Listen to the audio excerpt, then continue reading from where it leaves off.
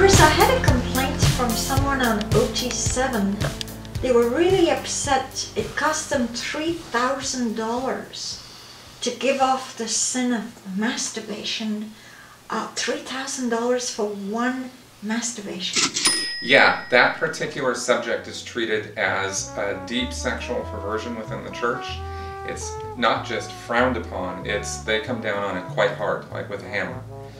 Uh, I'm not exactly sure why, because nothing that Hubbard ever wrote said that it's something to come down on. Baby, you know I'm guilty.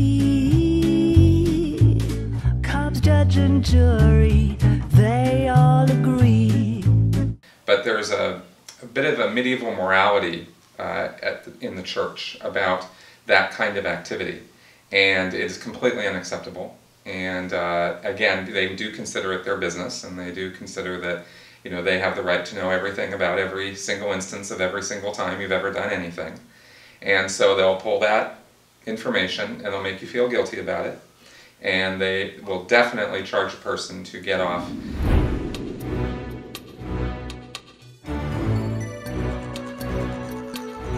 They- They're sitting in a confessional session Mhm.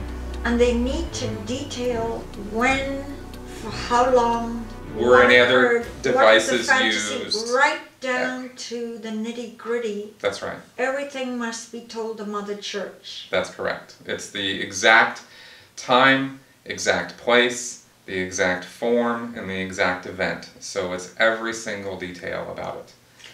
People have speculated that the church is inordinately interested in your sex life. Mhm. Any comment on that? Well, I think it's uh, the degree of interest is initially put there as it's something for your own good so that you can relieve yourself of your transgressions.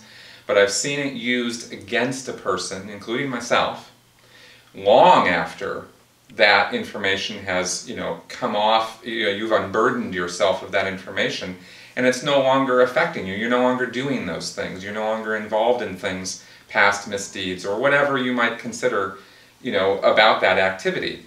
But then it's on file, it's on record, and that information can then be used later on to make you look like a pervert, to make you look like a bad person. It was told in confidence, but it's used against you later to make other people think less of you.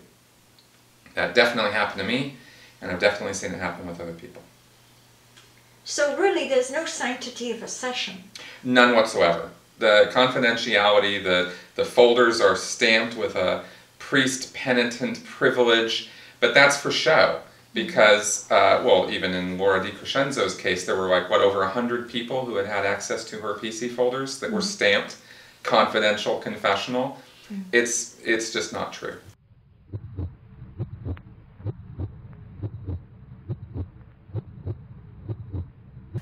What you said in the sanctity of a session will be used against you punitively later. Yes. I know there's a bait and switch con where you're not allowed to be punished for what you say in session. Mhm. So for what you say in session is now ordered to HC your sec checks.